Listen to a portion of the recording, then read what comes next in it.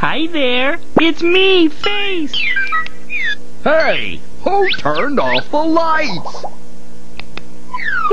there we go. You should always turn off the lights when you're not using them. But when you're still using them, it's better to leave them on. Thank you. Nick Jr.